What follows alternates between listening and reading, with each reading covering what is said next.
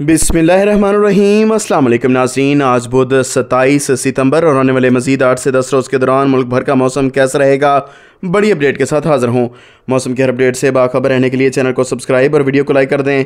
ताज़ा तरीन रिपोर्ट के मुताबिक मानसून 2023 मुकम्मल तौर पर पाकिस्तान से रुखसत हो चुका। आने वाले 24 घंटों के दौरान मुल्क के ज़्यादातर इलाकों में मौसम गर्म और खुश्क रहेगा। अलबत् कश्मीर, गिलगत बल्तस्तान, बालाई, खैबर पख्तूनखा के चंद एक इलाकों में बारिश के इम्कान बन सकते हैं। तहम वर्द जमेरात की शाम रात से मगरबी हवाओं का नया सिलसिला मुल्क के बालाई इलाकों, बाशमूल कश्मीर, गिलगत बल्तस्तान, खैबर पख्तूनखा के बहुत से इलाकों, पंजाब के शुमाल मशर की बालाई और वस्ती इलाकों समेत शुमाली बलोचिस्तान में गरज चमक के साथ बारिशों का सबब बनेगा। इस दौरान मरी रावलपिंडी, इस्लामाबाद, अटक, चकवाल, झेलम खिता पटवार सरगोदा डिवीज़न और खुशाब लिया फैसलाबाद।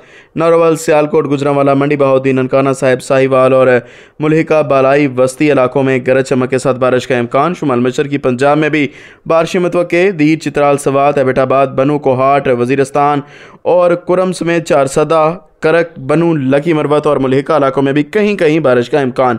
जोबार खान और शिरानी समेत शुमाली बलोचिस्तान में भी कदुका मकाम पर बारिश मतव इस दौरान मुल्क के बालाई इलाकों में बारिशों की वजह से मुल्क के बेशतर इलाकों में दिन का मौसम खुशगवार रहने और रातें काफ़ी हद तक ठंडी रहने का इम्कान है।